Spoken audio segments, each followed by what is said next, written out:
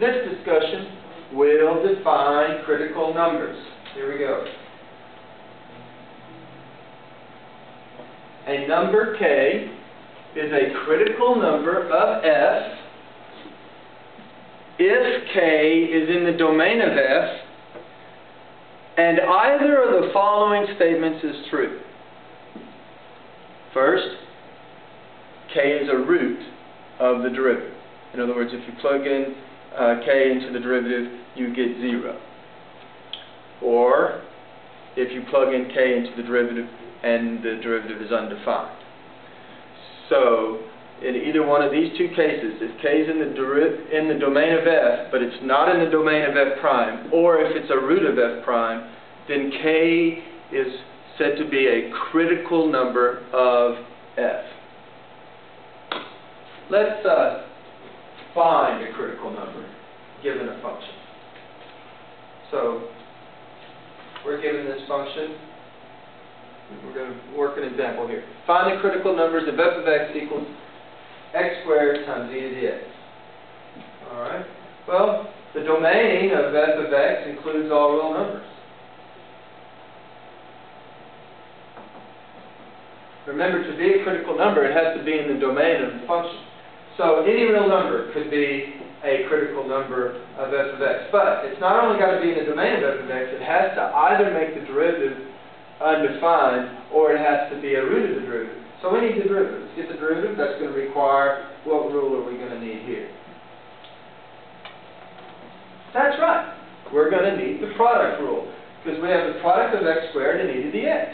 So we'll say x squared times the derivative of e to the x, oh, which is just e to the x, plus e to the x times the derivative of x squared. What's the derivative of x squared? 2x.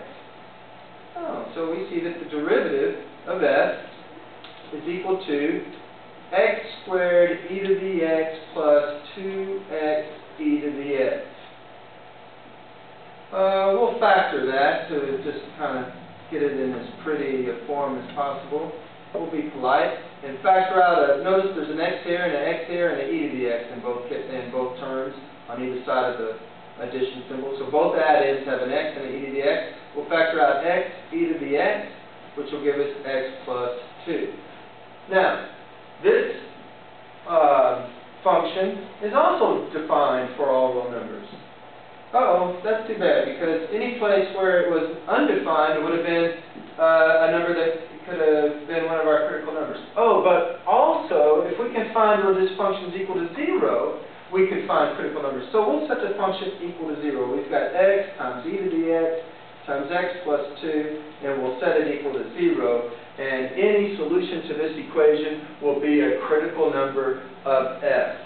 Well, whenever you have a number times a number times a number equals 0, you know that one of those numbers is 0.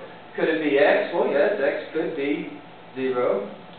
Um, could it be e to the x? No, e to the x never equals 0. If you, if you think about the function of e to the x, it looks like this, and it's never equal to 0. So e to the x is never equal to 0. What about x plus 2? Could that line ever equal 0? Sure. If you if we subtract 2 from both sides, we see that if x is equal to negative 2, it would be equal to 0.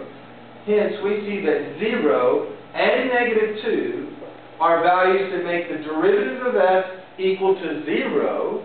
We call them zeros or roots sometimes. So those two numbers are the critical numbers of f. So the critical numbers of f are 0